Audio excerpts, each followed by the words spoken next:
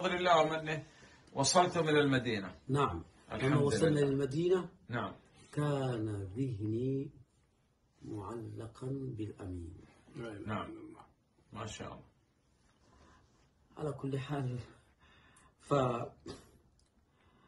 رحت إلى بيته وقلت متعرفا عليه بأن معي فتوى له وأود أن أقرأ هذه الفتوى عليه لأستفسر عن أشياء فيها. نعم هذا المدخل يعني. أي نعم. نعم. فقالت جيد لا بس طيب. فبدأت أقرأ فلما قرأت السطر أو سطرين أو ثلاث فقال هذا الكلام لي لكني لا أعرف من أخذه مني. نعم. لأن الذين أخذوه منه ضيوف عابرون حجاج نعم. في وقت الحج وهكذا.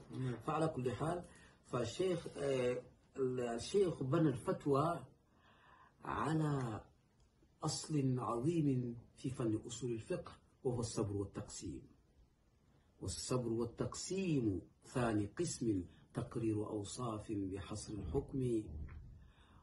وذلك أن القائلين بأن أو وذلك أن الذاهبين إلى أن الصلاة في الطائرة لا تصح ذكروا أوصافا عدة للمصلي فيها.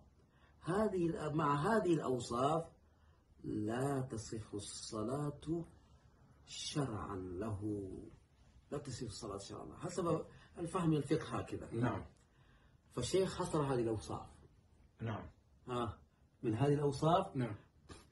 أن المصلي في الطائرة لا يكون مسامتا للقبلة بل يكون القبلة الكعبة نازل وهو. فوق نعم. كذا نعم. فيتجه كيف يتجه إليه ما أدري هكذا نعم. هذا من الأوصاف للمصلي في الطائرة نعم وإذا كان لا مسامتة له لل- للقبلة عند الصلاة أو للكعبة عند الصلاة وهو بعيد جدا أيضا عنه فكيف تصح الصلاة فيه right. ثم هو المصلي في الطائرة يكون قد يكون بعيدا عن مكة لا سيما الذين جاءوا من بلاد أخرى يكون بعيدا عن مكة نعم فكيف يعرف أن أنه في صلاته مستقبل للقبلة إذا نعم. إذا لم يسأل إيش الربان أو الذين يشتغلون في نعم، الطائرة نعم. فكيف يعرف. القبلة وكذا فمثل هذه الأوصاف آه، يبلغ ستة حصرها الشيخ ثم كر عليها واحدا بعد آخر بالنقض وأنه لا يصلح.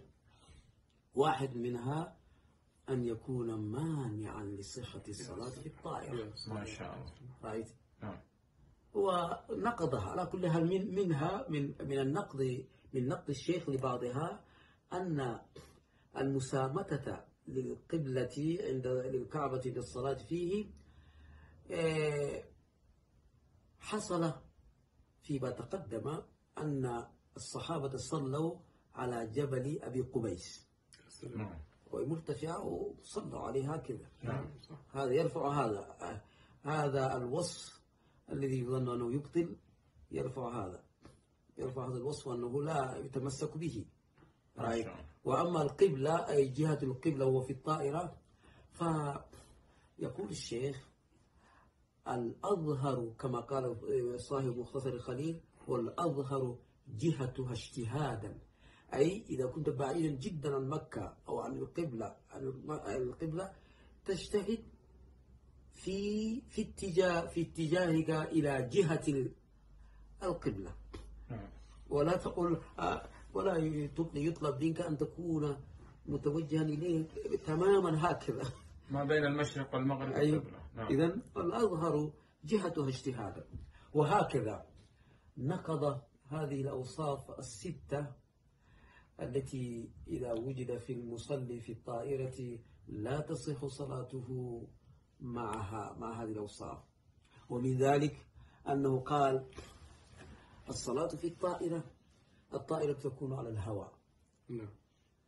والهواء إذا بلغ مئة درجة من درجات الحرارة انقلب إلى ماء فتكون الطائرة على الماء على هذا بهذا الله العظيم. يعني والصلاة في السفينة. السفينة. جائزة. الصلاة في السفينة. نعم. نعم. السفينة الماء إي والله صح.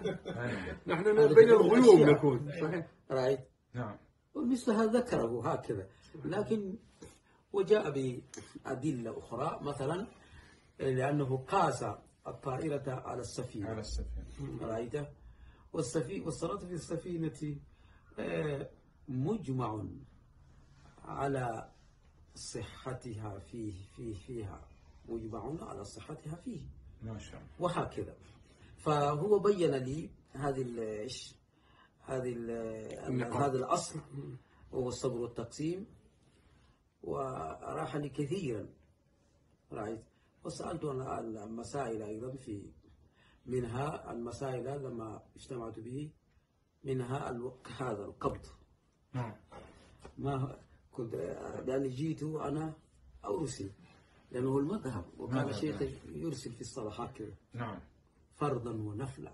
هذا منها مما سألت عنه عندما اجتمعت به أول ما اجتمعت به فبين لي كلاما جيدا في هذا واسترحت إليه وقبضت وأنا على اطمئنان.